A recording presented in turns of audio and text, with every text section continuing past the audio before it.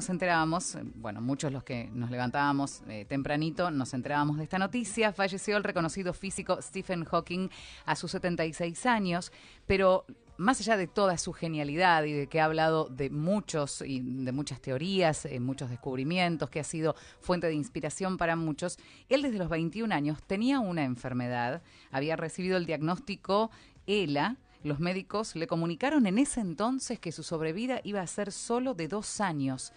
Sin embargo, desafió hasta la ciencia, hasta la propia medicina. Por eso queremos hablar con el doctor Juan Manuel Baldovino, a quien le damos la bienvenida en esta mañana. Doctor, ¿cómo le va? Hola, ¿qué tal? ¿Cómo les va?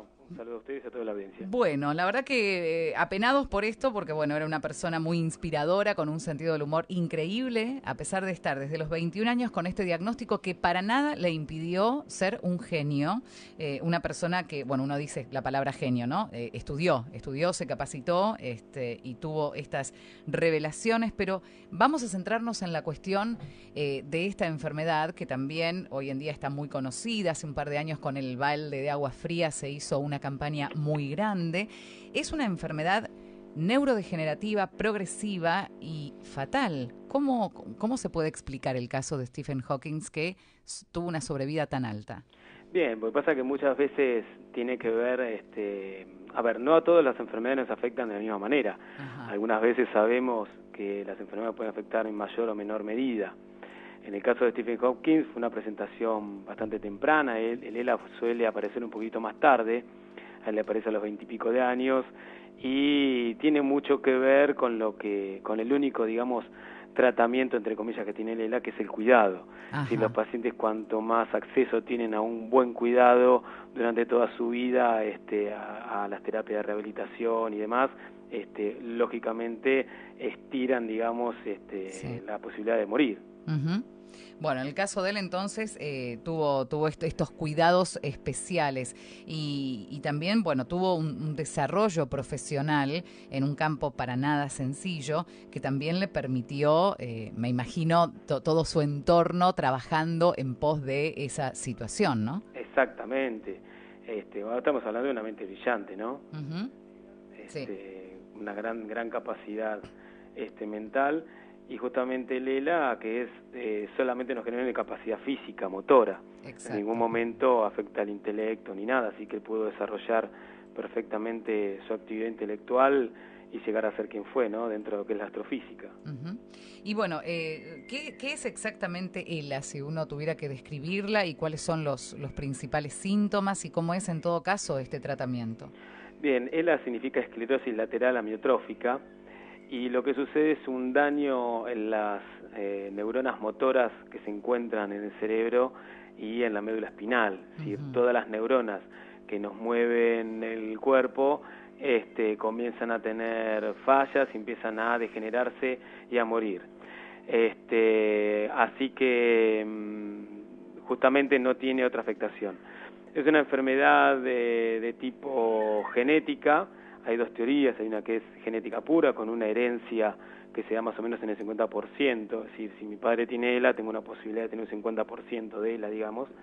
Este, y hay algunas este, apariciones esporádicas cada tanto que aparecen eh, y que están ligadas a algunos agentes ambientales que todavía no están del todo conocidos, pero bueno, entre estas dos causas hoy tenemos que decir que, este, por ejemplo, en Argentina tenemos unos 3.000 casos este, actuales de ELA, y unos más, más o menos unos 800 casos nuevos por año. Es una enfermedad que no es de las más frecuentes, es mucho más frecuente y más nociva para, para la salud pública, pero es una enfermedad lógicamente a considerar.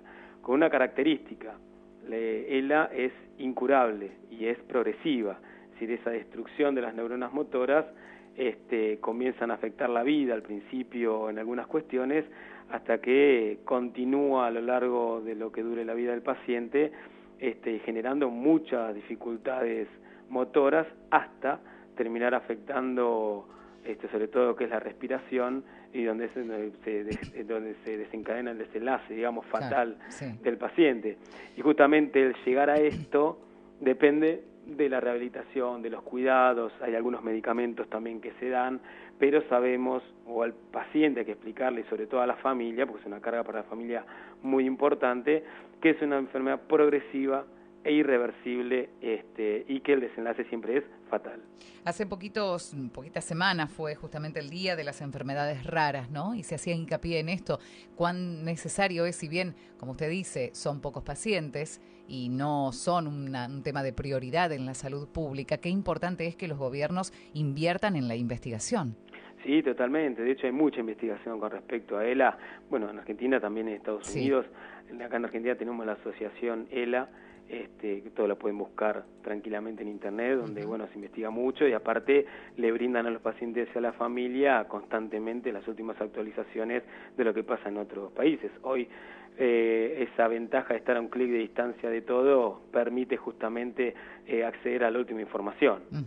Y hoy en día, si usted tuviera que situar algún país con, con mayores avances en cuanto al tema del tratamiento, o no importa dónde resida el paciente, en cualquier lugar del mundo se puede hacer el mismo tratamiento. En esta enfermedad en particular, como el, el, tratamiento es básicamente rehabilitación y acompañamiento y mm. terapias de rehabilitación, eh, se puede realizar en cualquier lado.